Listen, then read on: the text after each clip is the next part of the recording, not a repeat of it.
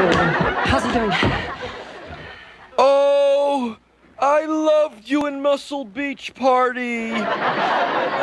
What's he talking about? Oh no, he thinks you're Annette Funicello.